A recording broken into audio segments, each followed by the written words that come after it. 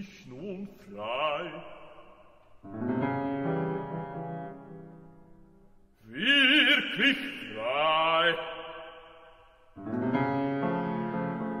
So grüß euch in meiner Freiheit. Ihr da groß. Übrig froh geriet, verflucht sei dieser Ring. Hat sein Gold mir Macht ohne Maß, und Zeug sein Zaubertum,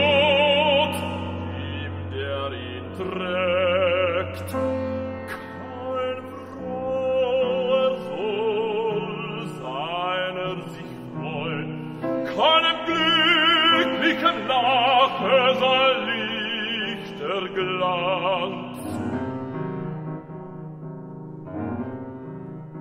Wer ihn besitzt, den Sire die Sorge, und wer ihn nicht hat, den Nage der Nage.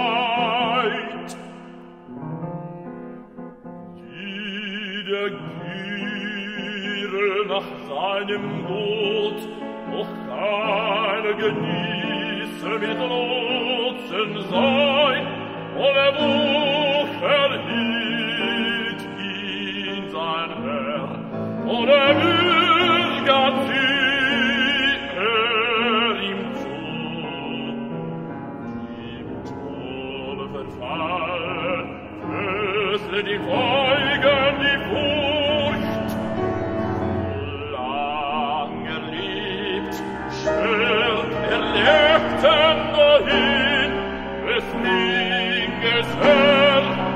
des Ringes Knecht.